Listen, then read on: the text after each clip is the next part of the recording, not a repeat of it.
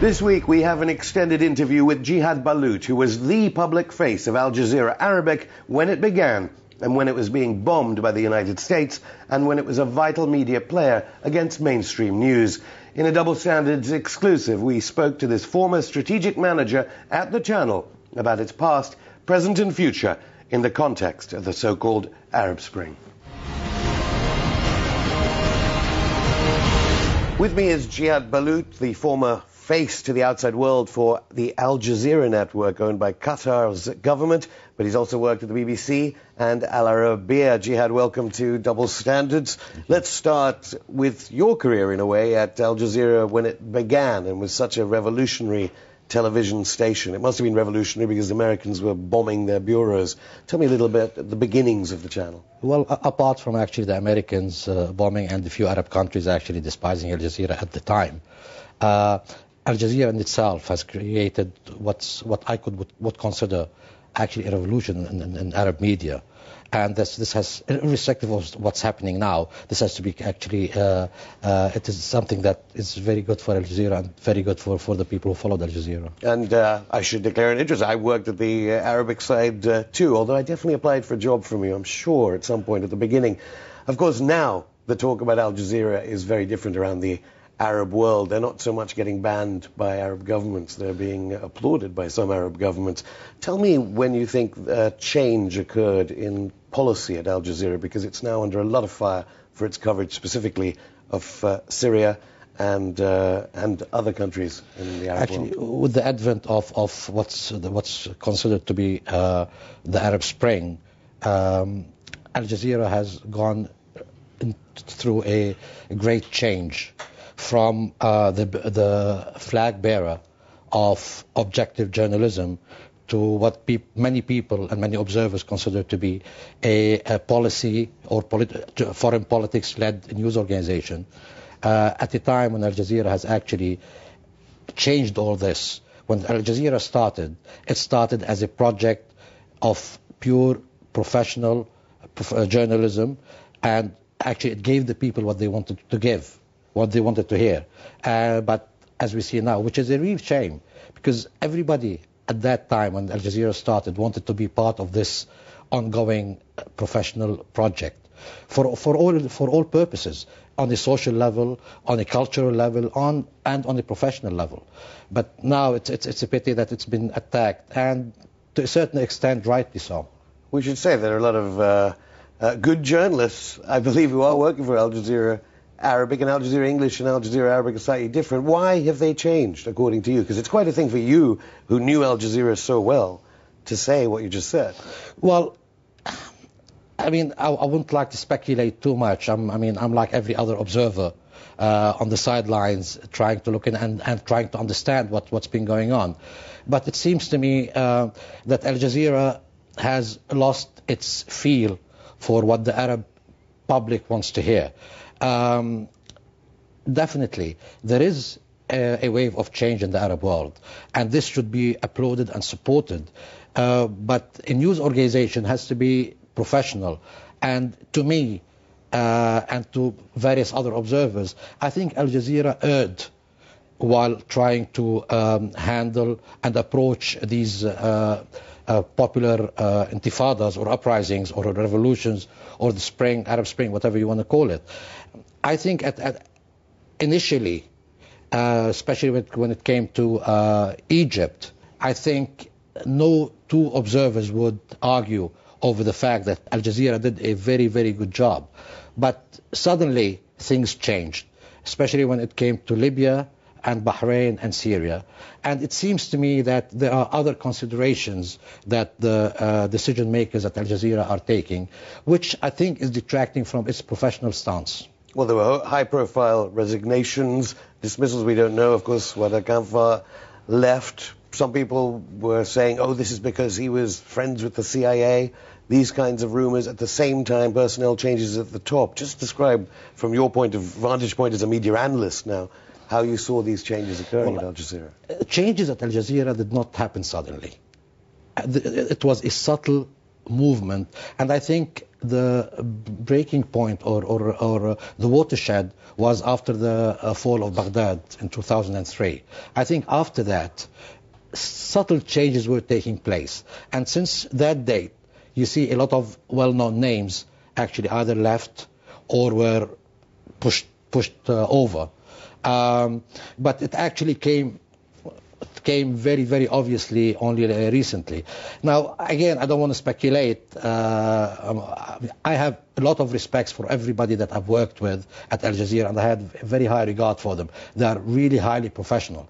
But you and I know how it is when you're working under political pressure, and let alone the deadlines.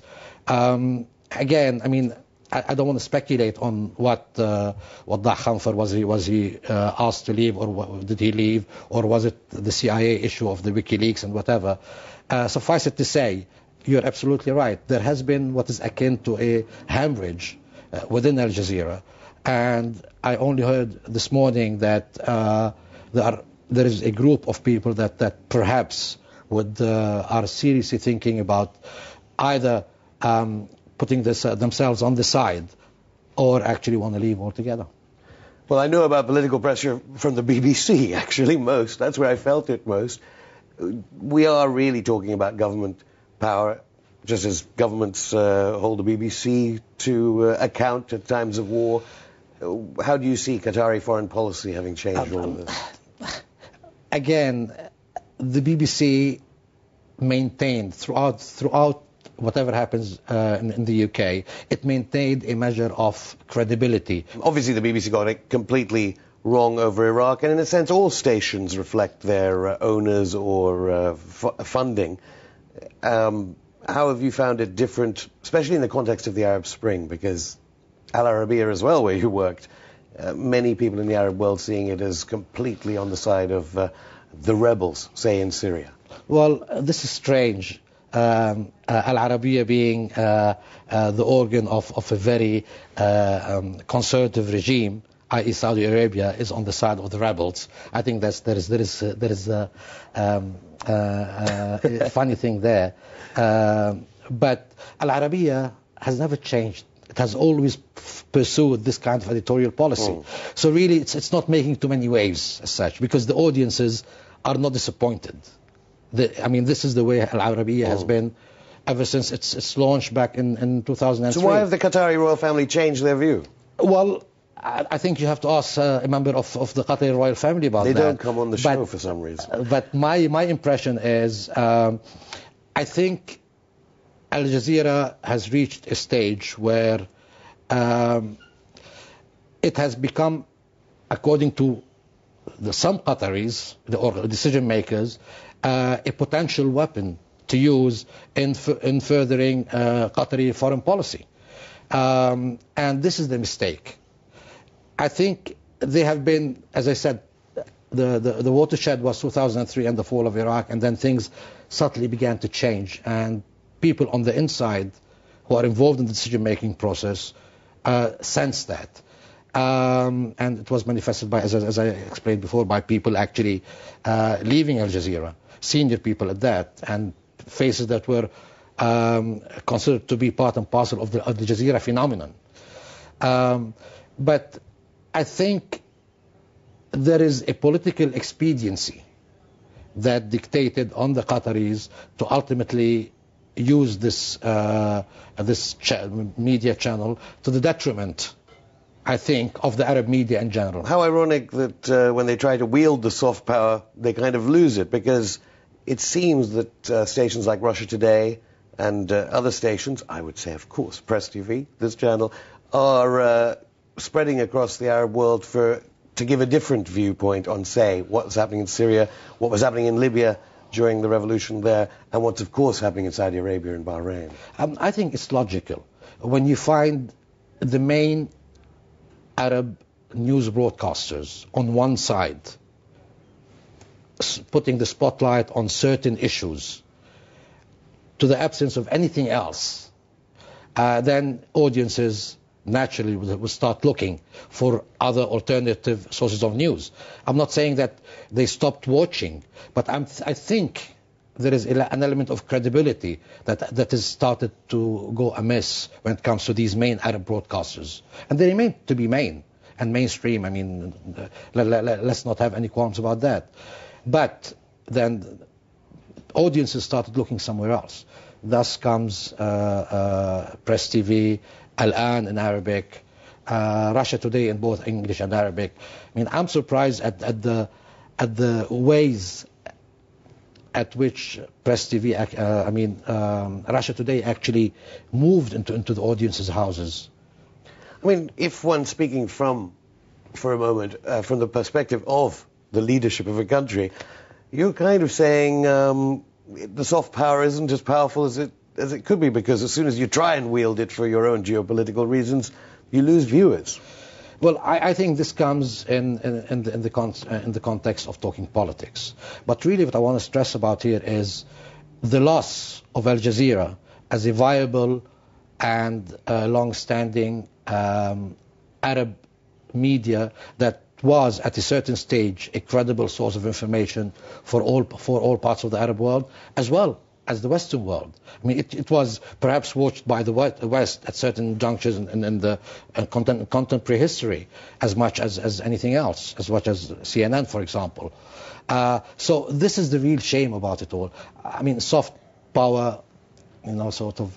I, am not very sure that, that I would put this in this context. I think in, in media terms, it is a loss not only for, for Al Jazeera. I think what's happening in Arab media now exemplified by Al Jazeera, is a loss for Arab audiences at large. Because it wasn't just Al Jazeera Arabic that are uh, playing into this kind of geopolitical game. Libya, did it surprise you, the coverage? I mean, here on uh, the Sky channel we had here, of course, the United States broadcasters, CBS, NBC, all cheering on, basically being part of the rebels, and then decamping immediately Gaddafi was killed. I mean, it didn't surprise me as such. I mean, we, we all saw and lived the invasion of Iraq and Afghanistan. And we had, if, if not first-hand experience, we had an inkling of how the uh, Western media, when, when its, its interests are at, at stake, how they would behave. I mean, I'm, i have it on very good authority that even some Arab uh, media went out and paid money and sent experts to Libya to start um, transmitters and, and radio and television transmitters from inside Libya. But the problem is for, for the people who, who got entangled, and I say entangled because I think it's, it's, a, it's a minefield. And, and the, where they got their media entangled into, into, the issue of, of Libya, I think they became so confident that they thought that they, they could actually rule the world. That, uh, a lot, that wealth can actually ruin lives and run, run and ruin lives. Uh, the Libya was so easy to do, and it was thought that perhaps it could be done in Syria. And I think this is where the problem lies, specifically where the problem lies, because Syria is very different to Libya, it's very different to uh, Egypt, in, in, all manners of speaking. Uh, and I believe, from my analysis for the, of the past week or so, I think there is a change in the, in the official Arab public perception. I mean official, because Arab populations are very different.